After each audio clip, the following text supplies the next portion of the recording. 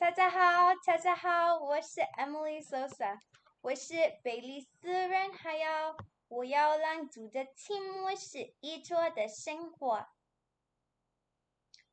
王小姐二十五岁，住在台北。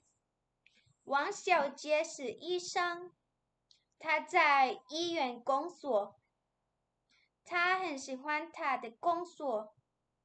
星期一。王小姐早上八点去医院上班。星期二下午天气不好，医院里没有很多人。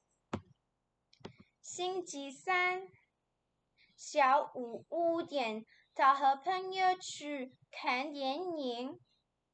七点他们去饭店吃饭。星期四，王小姐很高兴。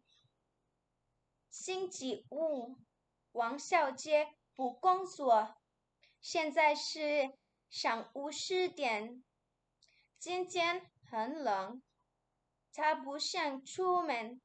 她在家喝茶、看书、学习和朋友的电话。王小姐。相约朋友下星期一喝咖啡。王小姐说：“喂，是珍妮吗？要不要下星期一喝咖啡？”珍妮说：“好啊，我们下去喝咖啡。”星期六，王。小杰不工作，他的爸爸妈妈也不工作。